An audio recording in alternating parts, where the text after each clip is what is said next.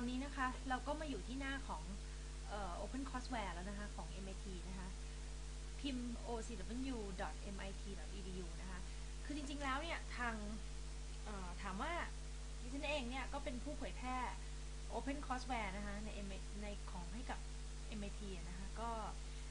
จริงๆแล้วเนี่ย การเผยแพร่ทางด้านการเรียนฟรีเนี่ยนะคะ ก็ดิฉันก็ได้ทำมาตลอดเป็นเวลา ก็เรียกว่า20 ปีแล้วนะคะ ทีนี้คือตอนนี้เนี่ย คิดว่าจริง ๆ แล้วเนี่ยตัว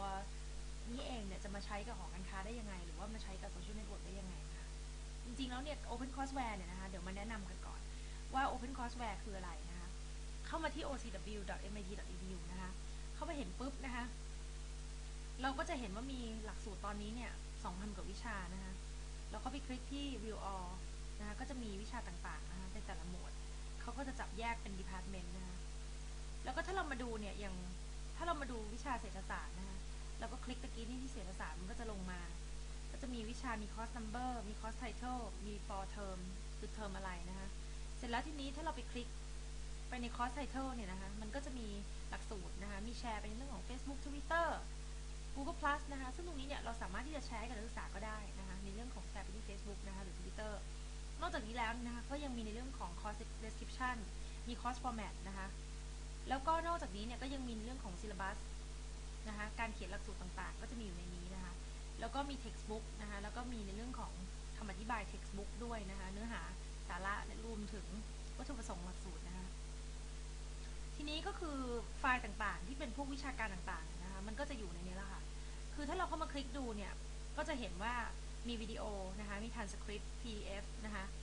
มีตัวอย่างมีอะไรต่างๆนะคะ เดี๋ยวนี้นะเขามี quiz ด้วยนะคะ ตรงนี้นะคะ ซึ่งจริงถามว่าดีไหมก็คือดีนะคะการดาวน์โหลด course material อาจารย์คลิก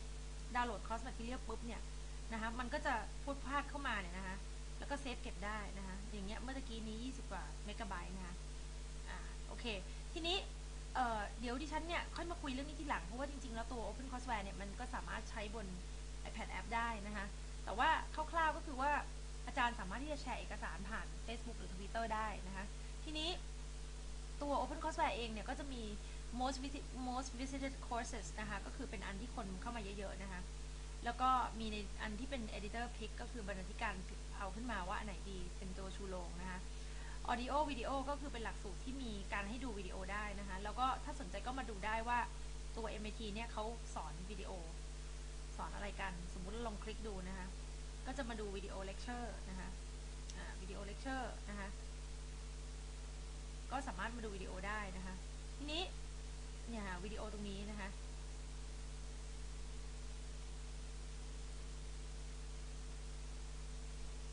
อาจารย์ก็สามารถก๊อปลิงก์ด้านบนนี้นะคะ กด Ctrl C แล้วก็ไปแปะไว้ใน Facebook ก็ได้นะคะ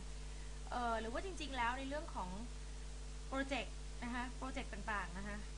ก็จะมีโปรเจกต์ต่างๆนะคะ แล้วก็ก็คือหมายถึงว่าเป็น Final Presentation ที่นักศึกษาทำมานะคะ แล้วก็ related sources นะคะ ก็คือมีซอสของข้อมูลที่เขาอยากจะแนะนำนะคะ ทีนี้อย่างที่คุยไปแล้วตะกี้ดาวน์โหลดคอร์ส material ก็มาทางนี้นะคะ ทีนี้ต้องการ sign up newsletter นะคะ ก็สามารถ sign up ได้เวลาเขามีวิชาอะไรใหม่ๆ จะบอกนะคะ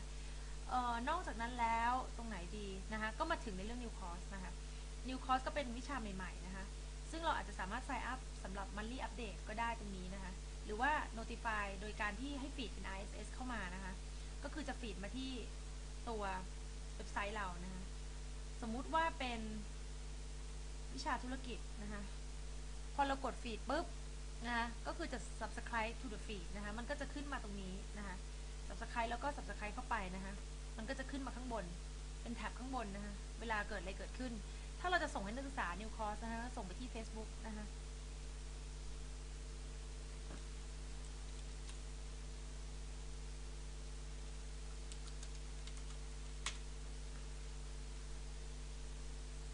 เนี่ยนะคะ ก็ขึ้น มาตรงนี้พอกดแชร์ไปนะคะอาจจะมากดมาลิงก์ไปที่กลุ่มเพจหรือแฟนเพจมันก็จะขึ้นไปแชร์ลิงก์ทำให้นักศึกษาเนี่ยเข้าไปอ่านในเรื่องของความรู้อะไรต่างๆนี้ได้นะคะ อันนี้ก็เป็นอันหนึ่งที่เราสามารถนำ MIT Open Courseware เนี่ยเข้ามาประยุกต์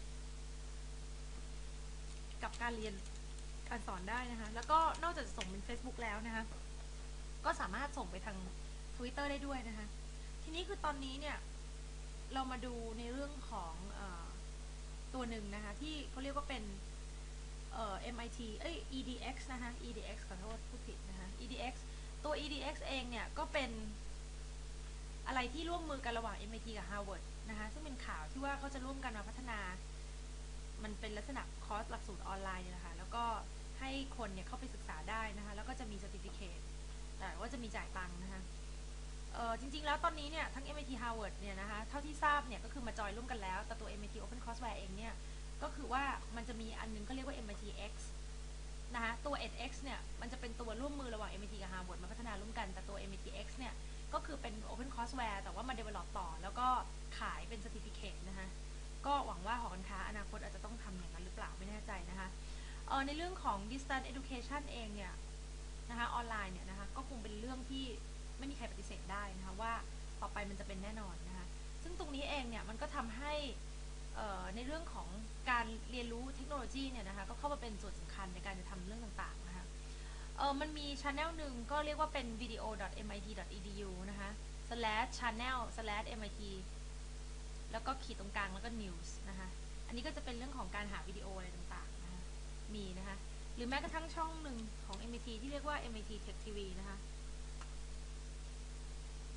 ซึ่ง MIT Tech TV เนี่ย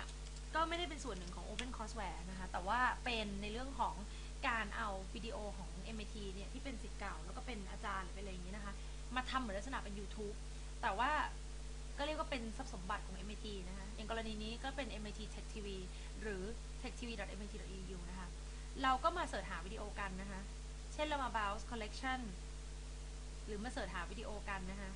เนี่ยนะคะก็จะมีวิดีโอต่างๆ ที่นำเสนอตรงนี้นะคะ ซึ่งเราอาจจะมาลองพิมพ์ อันนี้ไม่ทราบนะคะว่ามีหรือเปล่า แต่ว่าลองดูได้นะคะ ซึ่งตรงนี้เองเนี่ย MIT ก็จะพัฒนาในเรื่องของการโหลดวิดีโอเนี่ยเข้าไปเรื่อยๆนะคะ แล้วก็จากนี้ต่อไปนะคะก็คือจะแนะนำอาจารย์นิดนึงนะคะเผื่ออาจารย์ท่านไหนก็ตามที่หรือนักศึกษานะคะที่ต้องการสนใจเข้ามาเป็นเมมเบอร์นะคะ ก็เข้าไปได้ที่ facebook.com slash mit ocw club thailand นะคะ มันจะมีทั้งกลุ่มทั้งแฟนเพจนะคะ ก็สามารถที่จะมา register ได้นะคะ ตรงนี้นะคะ ก็จะมีนะ ก็ก็จะมีในเรื่องของบทความหรืออะไรต่างๆนะจริงๆคืออันเนี้ยแฟนเพจจะมีอยู่ 600กว่าคน แต่ว่าถ้ากลุ่มนี่ก็จะมีเยอะกว่านี้นะคะ ก็เชิญมาติดตามได้นะคะเผื่อจะมีแหล่งการเรียนฟรีๆนะคะเอ่อดิฉันก็จะแนะนำในเรื่องของอย่างเช่นวิกิพีเดียของจุฬาหรือว่าศูนย์การเทคโนโลยีเพื่อการศึกษาอะไรต่างๆ ที่เป็นของฟรีนะคะค่ะก็ตอนนี้ก็จบ MIT Open Courseware เท่านี้ก่อนนะคะแล้วก็เราเผื่อเราคุยกันเอาไว้จะได้เข้าใจ แล้วก็นำมาประยุกต์ใช้กับในเรื่องของ iPad หรืออย่างอื่นต่อไปนะคะค่ะต้องขอบคุณมากค่ะสวัสดีค่ะ